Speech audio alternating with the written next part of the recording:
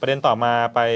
ฟังคลิปของพลตำรวจโทเลวัตมาเล่าความหลังเกี่ยวกับวิบากกรรมของบิ๊กโจ๊กครับ เดี๋ยวเชิญชมคลิปครับ เป็นที่ถูกใจของชาวบ้านนะครับ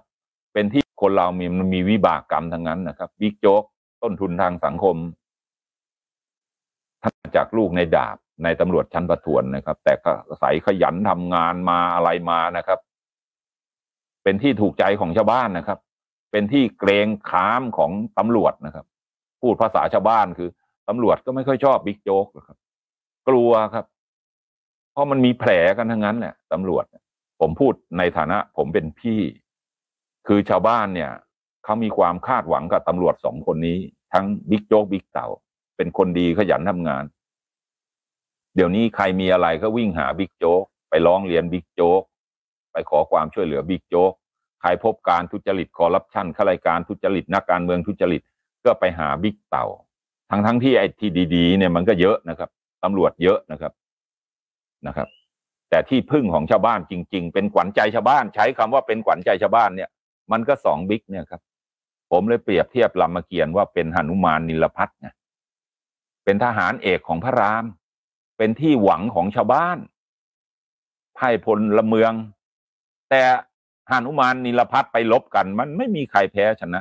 เรื่องผิดเรื่องถูกพี่เลวัตไม่พูดถึงรายละเอียดในสำนวนพี่เลวัตไม่รู้ เมื่อวานโทรคุยกับบิ๊กเต่า ก็บอกขอให้เต่า เลิกแถลงข่าวเลิกพูดเถอะไอ้ห่ามันเสียหายและชาวบ้านจะเสื่อมศรัทธาพวกเรา ถ้าเขาเสื่อมศรัทธาพวกเรานี่เขาไม่รู้จะไปพึ่งใครว่ามึงเป็นวีรบุรุษแล้วในสายตาชาวบ้าน มันก็ครับครับครับครับนะฮะผมรู้รายละเอียดทั้งหมดครับ รายละเอียดเป็นยังไงมาอย่างไงรู้หมดนะครับ ส่วนบิ๊กโจ๊กท่านก็เป็นผู้ใหญ่แล้ว ผมก็เหมือนเป็นลูกศิษย์คนหนึ่งเป็นน้องคนหนึ่งนะครับ ผมก็โทรกลางคืนก็โทรไปหาบิ๊กโจ๊กครับ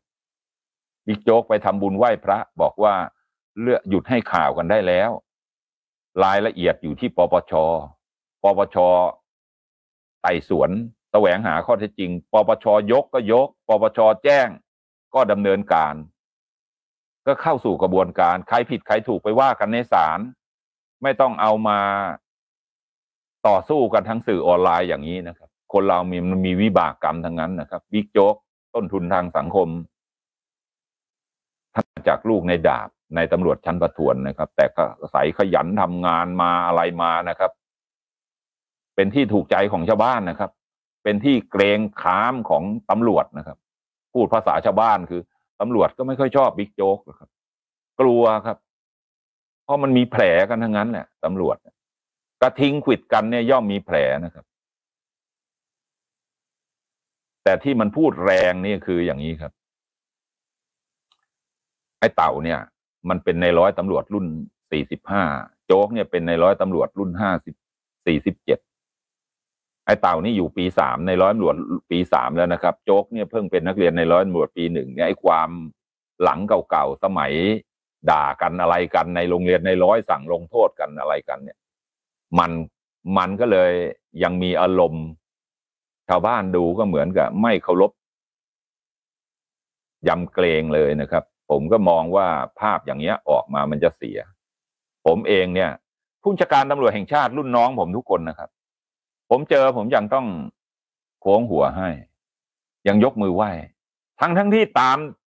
ตามนั่นแล้วมันต้องไหว้ผมก่อนนะครับ แต่มันเหมือนลิเกเล่นกันมันแสดงบทเป็นเสนา ผมเป็นลูกน้อง ผมก็ต้องทำความเคารพ มันมีวินัยตำรวจไงดื้อดึงขัดขืนไม่ยืนเคารพระเบียบไม่ครบกระทบสามัคคี อันนี้ผิดจริยธรรมตำรวจผิดวินัยตำรวจนะครับ ทั้งสองน้องก็คงจะเบาลง ส่วนผิดถูกนี่ว่ากันในศาลที่เลยวัดไม่ไปขอร้อง ใครผิดก็โดนดำเนินคดีไปนะครับพลตำรวจโทเลวัตบอกว่าทุกคนเนี่ยล้วนมีวิบากกรรมค่ะบิ๊กโจก็วิบากกรรมของบิ๊กโจนะครับ แต่ว่าความพยายามจากลูกในดาบอะจนขึ้นมาชิงอีกนิดเดียวอะจะได้เป็นผบตรแล้ว แต่ว่า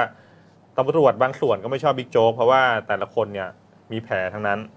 แล้วก็เปรียบเทียบว่ากระทิงควิดกันเนี่ยตอนนี้แผ ลเป็นทั้งคู่อะบาดเจ็บกันทั้งสองตัวนะครับ